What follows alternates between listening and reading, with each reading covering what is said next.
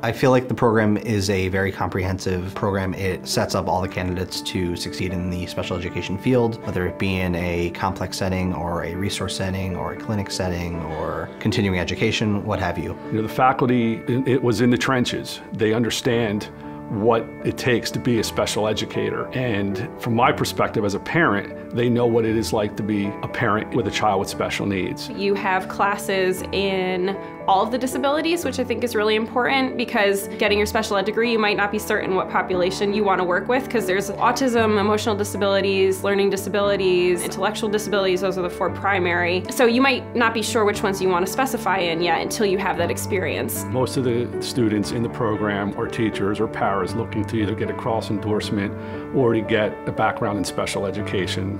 My goal was never to get the master's originally. My goal was just to take classes so that I could better help my son who has disabilities with his education and his life. But as I got involved and I took more classes, I really wanted to get the master's just because it was such a great program. So I had the opportunity to work with the TOPS program out of the Kennedy Center partnered with Fairfield University. TOPS stands for Transitional Opportunities for Post-Secondary Success. It allowed the opportunity for adults with autism, ranging from, I believe, 18 to 21 or 22, to come onto Fairfield University's campus and work with grad students as well as some of our faculty. And we would take them to different parts of the university and expose them to things such as going to a cafeteria and ordering a meal, interacting with people, just to give them that taste of what life is after high school. You get that kind of experience in this program. It's not just sitting in a classroom and being lectured. It's all about doing projects where you interact with other teachers or with other people that want to get involved with kids with disabilities. It was